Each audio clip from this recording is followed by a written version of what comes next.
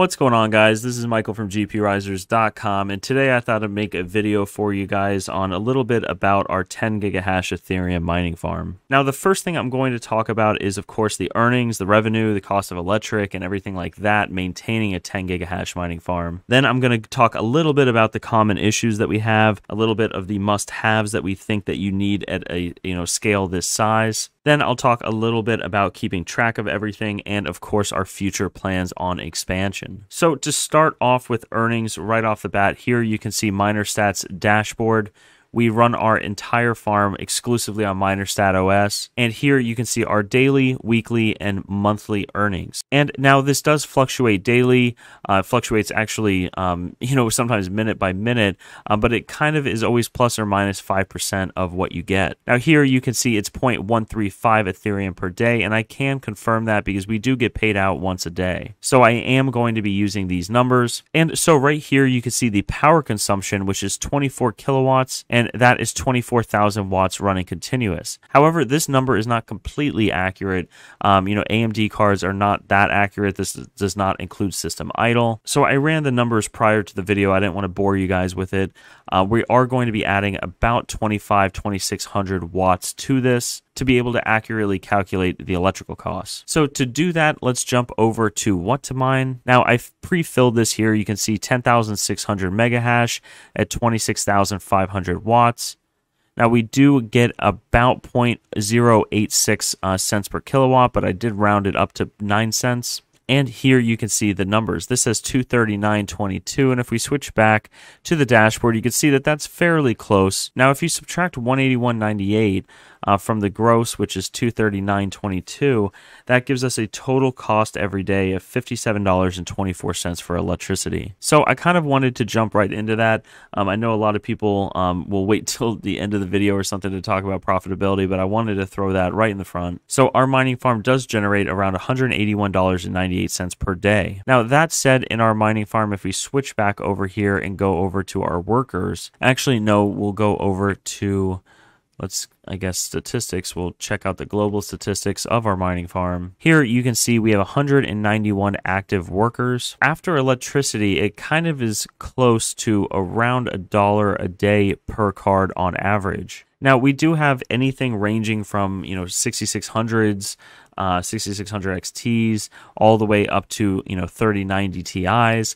Um, we only have one of those, but we do have quite a lot of 3090s, uh, 3080s. So we have a broad range. I will get into that um, towards the end of the video, but I kind of wanted to talk a little bit about the issues that we do encounter while managing a farm this size. Now, the first thing that we run into are rigs that um, you know go down, that have issues, that need reboots. That is pretty standard among all of them. You can see here we have about 24 we have one that is not on right now, which is our 6800 XT rig. So this rig we don't have on right now. Um, it was we, the reason why we had it off was a power issue um, with the PDU that this one was connected to. However, that's not an issue anymore, so we really should turn that one on. And especially with the newer cards that we have, like the uh, 3060 Ti LHRs with the unlock, um, a lot of these cards require random reboots. Hash rates will drop. Um, the 100% uh, unlock for LHR cards is not perfect right now. And that kind of leads into the next common issue and i don't know if it's an issue rather than just a maintenance um, you know kind of perspective but it's with all these new things coming out it's very hard to keep track of everything we had the LHR unlock, we had the R mode with um, AMD cards, uh, new miners switching between NB or you know T-Rex, all these different you know I think lolMiner as well. Uh, trying to switch between all of these and figuring out which one's best for each rig does take quite a lot of time. Now, as you can see here on the screen, we are only mining Ethereum. Now we do switch to other algorithms when we're doing tests with new cards or you know things like that, but at the end of the day, we do mine um, for the most part what's most profitable. Now Ethereum is is not always the most profitable, especially with you know different altcoins with the TI cards and everything like that. But again, that does take a lot of time to switch between everything and, and calculate it out. Now, MinerStat does have a profit switch um, add-on or automation setting that they have, which is really nice. However, we just have not set that up. We do need to switch over to 2Miners. I will do a video on that sometime soon. And what is nice with 2Miners when it comes to profitability switching is that you can run, you know, Ergo, Ethereum, you know, all these different algorithms and get paid out just in Bitcoin. And that is the main reason why we keep everything on Ethereum right now and we don't do profit switching or just have some rigs that, that are always more profitable on Ergo or Firo or Flux or whatever it may be, is because we don't want to get paid out in all coins that we can't cash out to cover our fixed and variable costs of running this mining farm. So another common issue that we have um, with everything is thermal throttling and heat extraction. Now, if you guys have seen my interesting experience with the heat box and everything that we're doing here, you guys know that there are tons of heat issues with mining. I'm sure a lot of you guys have heat boxes, have different ways to get the heat out and cool air in. That is a major problem here in the mining bunker as well, trying to, you know, control that. So that is another issue that we do have here in the mining bunker. And lastly, a common issue is um, just things going bad. So things go bad over time, whether it be you know a riser, whether it be a power supply, a graphics card, fans on a graphics card, fans on the frame, you know whatever it may be. And those things don't go bad often. You know, a riser going bad is kind of rare. Although when you have 191 cards running, you know, a, a 10.6 gigahash mining farm, the odds may be small that something might go wrong, but on a scale this size, um, those small odds do add up, and we do have things, you know, weekly that become issues. So those are the main issues that we do run into um, while operating a mining farm like this. And having such a diverse, you know, group of cards requires a lot of research and a lot of time uh, to see what is most profitable. Especially, like I said, um, again, the LHR unlocks, the R modes, the new miners, everything like that. It does take quite a lot of time. So, talking about time, that leads me into the next topic, which are uh, what we believe to be the must haves. Now, I did just reboot one of these rigs real quick uh, while I'm on the dashboard, but um, this dashboard is what we would, you know, classify as a must-have when you know managing multiple rigs. We started mining on Windows, and then we went to um, EthOS, and then we went to Hive, and now we finally ended up on MinerStat and trying to control multiple rigs that are running Windows that aren't on a dashboard system like this would be a complete nightmare.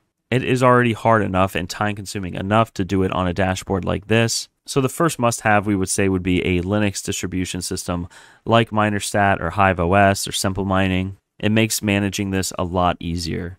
The second would be, of course, uh, the electricity needed. We did switch um, a lot of our mining rigs from 120 to 240, and that allowed us a lot more electricity uh, to keep more rigs in one area and to not burn up outlets and everything like that. Uh, switching to 240 uh, when you're scaling is, I would say, the first thing that you should do if you're to the point where you have a couple of these in your house, if you want to take the next step, I would say get a 240 volt outlet installed in your garage or your shed or wherever and connect a PDU up to that and then start from there. So, the next thing also that I like to do uh, while managing a mining farm of this size is I like to keep track of everything. And keeping track of everything uh, by what I mean by that is keeping track of what your, you know, equipment is. When we started mining in 2016 2017 we had about two or three rigs and it was like oh you know the the nvidia one is down. Can you reset it? Or um you know let me remote into the amd you know 480 rig and reset it you kind of always knew what you had but you know having a mining farm with you know 190 some cards you kind of forget what is what and so that's why we always create a list here you can see the green ones are nvidia the red ones are amd and every time that we put a new card into the mining bunker, we have it mining, we update this chart.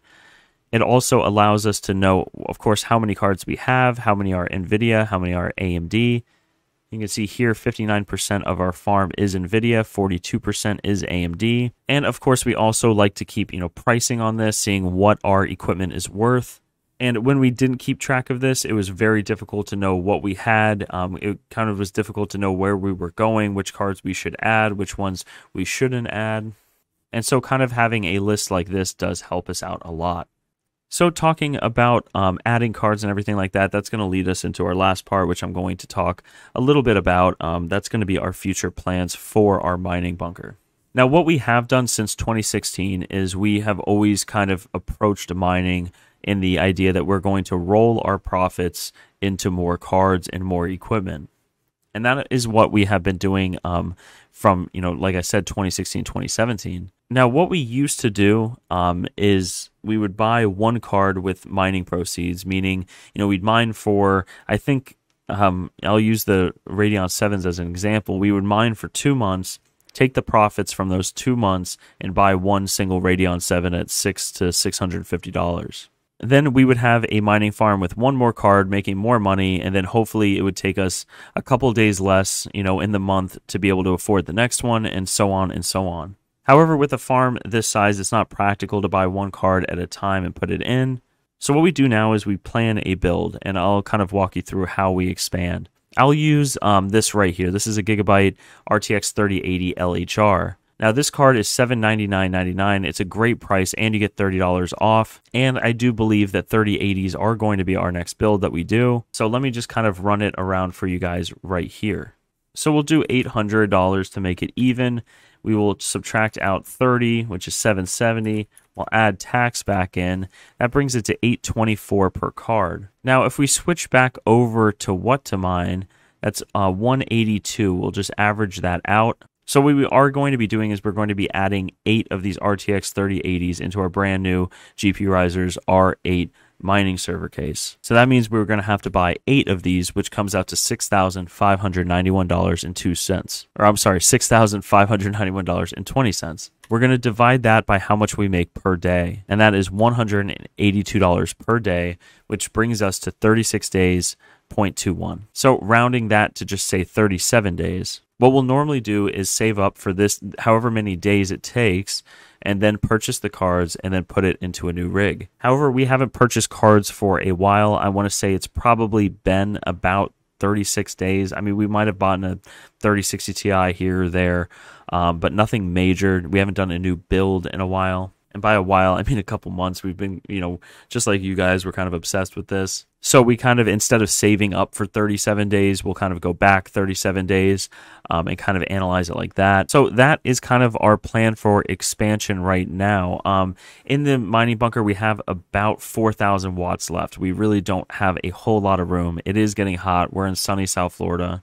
But that said, um, you know, it is the middle of summer right now. Uh, I do think it's going to get a little hotter here in Florida, uh, probably over the next two months. Uh, but then it'll start to cool down again. And we are actually looking in, you know, alternative um, places to be able to store these. And I can tell you, after mining in Florida since 2016, 2017, that um, the next facility that we get is definitely going to be up north. So, kind of circling back to what our plans are going forward. Um, you know, I did mention that we are looking to expand, but we can't expand a whole lot here in the mining bunker. So we are looking at some alternative options. Now, when you live up north, and I'm sure uh, you know some people watching this uh, do this, you can have a rig in each room, and it would heat the house by itself. You can even put a good amount, maybe a 30 amp breaker in the basement, and have a PDU down there, and you know have you know 5400 watts continuous running, which would heat the whole house. And then during the summer months, you can simply vent it out like we do in Florida year round. But then you wouldn't have to pay for heat to heat the home or heat the warehouse or wherever it may be and that is kind of our plan going forward. And to end on future plans, to get a place up north or something like that, we will want to kind of fill that area with the most rock solid cards that we can. Now, when you get to a size this large, and I'm not saying we're you know large by any standard. But to us 10 gigahash is fairly large and we are still growing. But we have kind of changed our attitude towards a couple things. And in the future we want to deploy the most efficient cards but also the cards that give us the least headache. Now there are cards on here like the 3060 ti lhr i don't think we'll do another build with those. Um, constant issues and I'm sure miners will get better and everything like that, but we just want cards that you turn on and they work. And we are very happy with the RX 6700 XT, so we will be buying more of those. And we will be buying more full hash rate cards, which of course the AIBs don't have. So once those become available, I do believe we will be buying a good amount of the RTX 3070s. Now, those are all going to be Founders editions, and those are all going to need to be repadded. But once those cards are repadded, they will be rock solid. All of our full hash rate cards, we honestly don't have to touch at all. Now, we reboot uh, rigs randomly. You'll see some in here that are an hour, um, you know, and stuff like that. But there's some rigs in here that have been running for quite some time. Now, here's one called uh, Photo Rig. Um, that's because this rig was um, actually placed next to some camera equipment and stuff like that. And this one has all RTX 3070s in there, and this rig has been running for 80 days, 19 hours. Now, normally I reset this. I should have reset this a while ago, but I just want to see how long this can go without me touching it. Now, there are a couple in here while I've been filming that I reset because I, I haven't looked at the dashboard today yet. And you can see any any rig with LHRs, I have to reset every couple hours. And I can add a watchdog in there, and I, I really should, but I haven't done that yet. But our future plans will definitely uh, be with cards that we don't really have to touch. So that includes full hash rate cards, the Founder Edition cards. Um, that also might include some 5700 XTs if the prices on those um, stay where they're at, and also the 6700 XTs. Those are just rock solid cards. But that said, guys, that is how uh, we are doing it here. We don't really take out any credit or anything like that to buy cards. We only buy cards and we have only bought cards with money that we have got from crypto mining. So we are not expanding as much as other people are. We might not have gotten started as quick. You know, if we took out a huge line of credit and started mining in, you know, 2018, 2019 and really, you know, blew up the mining farm to get 10 gigahash, we probably would have not probably, we definitely would have been able to pay all of that back and some. But we like to play everything kind of safe. You know, everyone has their own risk tolerance. But that said, guys, let me know how you guys like this video. I know it's not like a normal video that we do. Uh, maybe I'll just keep doing updates maybe once a month on how the overall mining farm is doing and what we built that month and what we're doing. But other than that, guys, I'm not going to make this too long. Um, I hope everyone watching this has a great rest of their day, and we'll see you guys next time.